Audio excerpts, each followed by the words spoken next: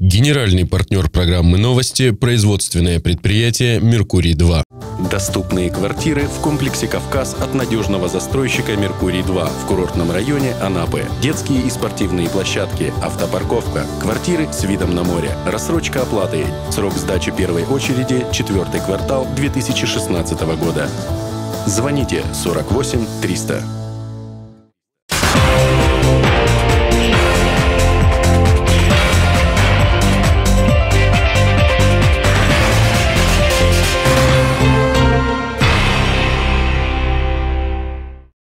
Здравствуйте! В эфире телеканала РЕН-ТВ, новости Анапа регион, в студии Ирина Меркурьева и смотрите сегодня выпуски.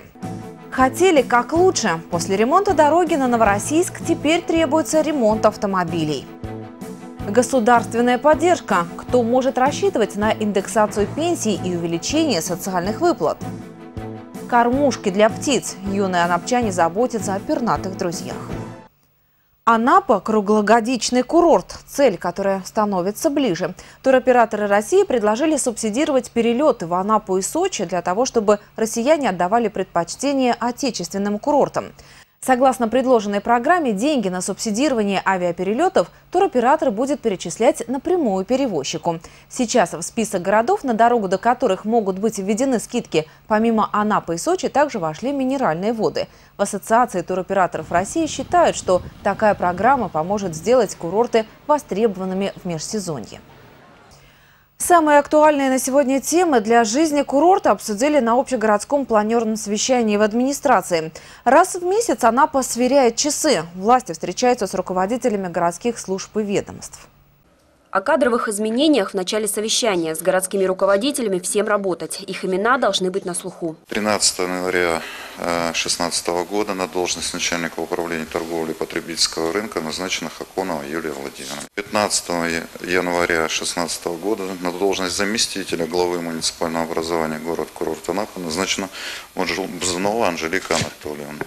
Она будет курировать вопросы жилищно-коммунального хозяйства. О планах благоустройства заместитель главы Анапы Анжелика Бузунова. Со следующей недели начнется реконструкция участка улицы Горького от Краснодарской до Гребенской, а также ревизия городского хозяйства замена старых урн и ремонт лавочек. Защитить от вандалов, что зеленые насаждения, что важные элементы благоустройства помогут видеокамеры. Тем более защищать есть что. За последние э, пару лет порядка тысячи лавочек поставили. Я вот обход мы делали в субботу. Я вот спрашиваю и удивляюсь, а как раньше было? Вот не было этих лавок, то на каждом углу Позиция, я помню, была какая. Чем меньше лавочек, тем меньше мусора возле них, тем меньше убирать. Но это неправильная позиция. Но сегодня у нас условия, э, я же говорю, порядка тысячи лавочек поставили по Анапе. Удобно же? Удобно. И ничего страшного не случилось, убираем. До 20 апреля для предпринимателей продлена возможность установки единой государственной автоматизированной системы. Для обывателей это будет выглядеть так. При покупке алкоголя с помощью специального пиар-кода на чеке потребитель сможет отследить путь продукции от производителя до магазина. Прозрачность оборота алкоголя – требования закона, и его надо исполнять. Сегодня мы должны предпринять все меры к тому, чтобы не допустить нарушения закона у нас на территории. И вот эти объекты, о которых вы говорите – не немножко времени, а время было.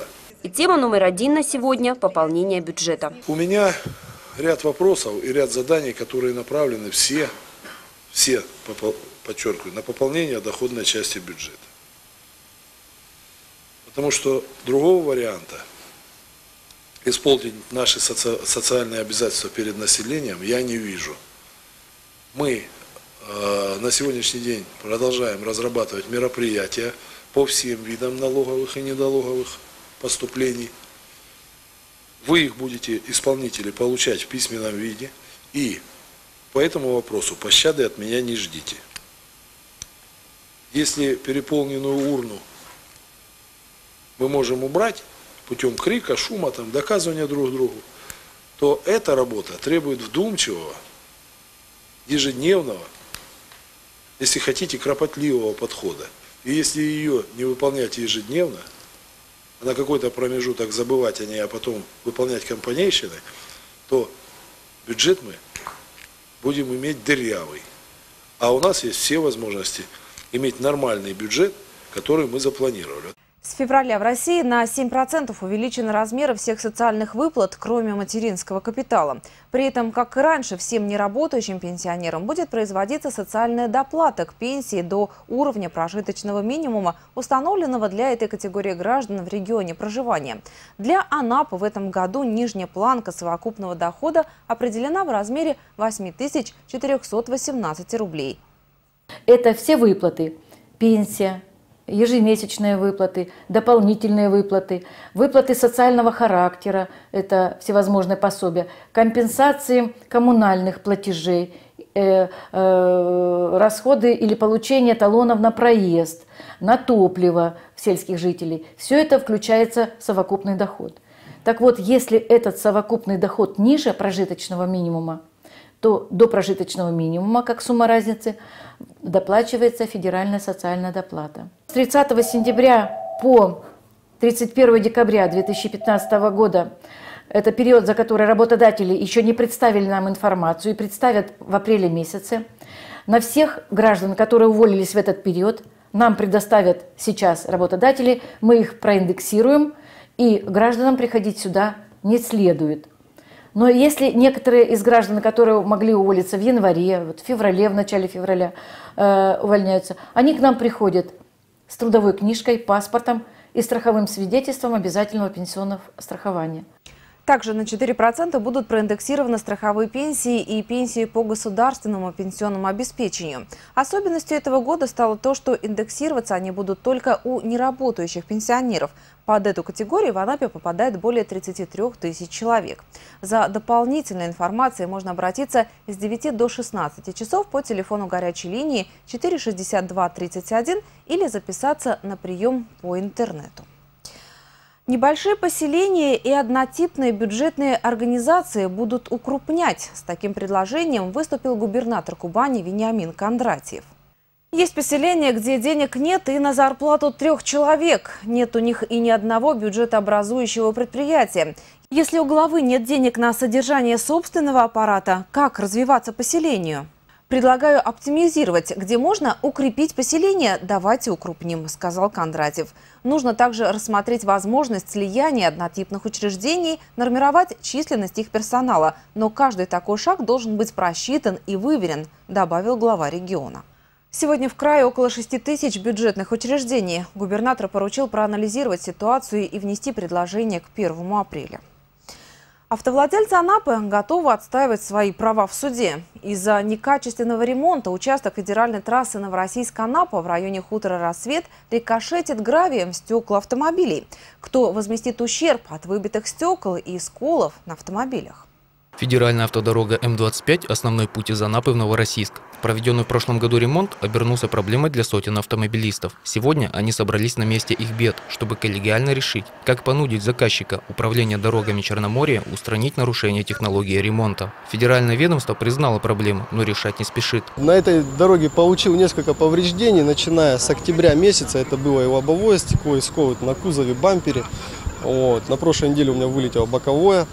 Вот, и начал, как говорится, ну, скажем так, заниматься сам этим вопросом, начал интересоваться, искать источники, э, вот, узнал, кто подрядчик, кто заказчик, э, ну и начал уже потом просто наблюдать за технологией, как говорится, производства работ, как это делать, в какое время и так далее. Вот. Ну и с учетом того, что э, значит, были периодические публикации в социальных сетях, вот, понял, что дело, делом как бы нужно заниматься, потому что не я один пострадал. Городские власти обозначили перед исполнителями ремонта проблему еще в октябре прошлого года. После многочисленных обращений водителей глава Анапы потребовал от транспортников выехать на трассу вместе с заказчиком и составить акт осмотра. Ответ от Упордор Черноморья. Дорогу восстановят, как только установится благоприятная погода. Тем не менее, власти Анапы не оставляют заказчика в покое. Нами также на прошлой неделе за подписью главы были подготовлены письма повторные в адрес прокурор Черноморья, Анапская межрайонная прокуратура и ГИБДД для принятия мер к понуждению э, подрядчика по устранению выявленных недостатков. Автолюбителям рекомендуют обращаться в суд. Все основания для требований возмещения ущерба есть. Уже четыре года сотрудники заповедника Утриш проводят акцию «Поможем птицам перезимовать», в которой принимают участие все желающие. В основном это дошколяты и учащиеся начальных классов. Ребятам необходимо смастерить и вывесить кормушку для птиц, вести наблюдение за пернатами и, самое главное, следить за тем, чтобы в кормушке всегда был корм. Отчеты о проделанной работе необходимо присылать на электронную почту заповедника. Не секрет, что зима и весна – самое тяжелое время для птиц. И подобные мероприятия – самый простой и наглядный способ научить ребенка с любовью и заботой относиться ко всему живому. Конкурс «Поможем птицам перезимовать» продлится до 1 апреля. И это далеко не единственная акция, которую организовывают сотрудники заповедника. Ежегодно мы проводим проводим научно-исследовательский конкурс «Заповедник». Он как раз сейчас идет, э, на котором участвуют школьники и студенты, представляя свои проекты.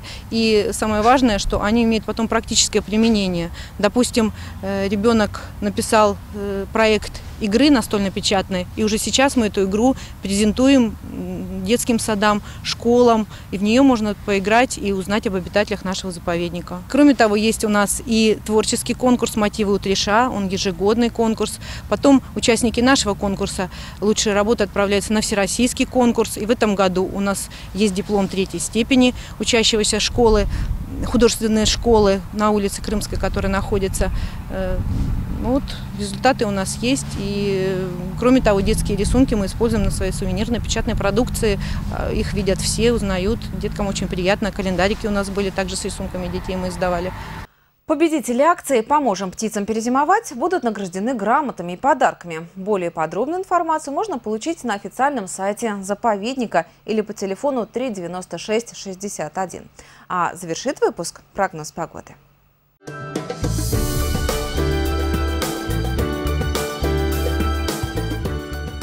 В среду 3 февраля в Анапе ясно. Температура воздуха днем плюс 8, плюс 9, ночью до 7 градусов тепла.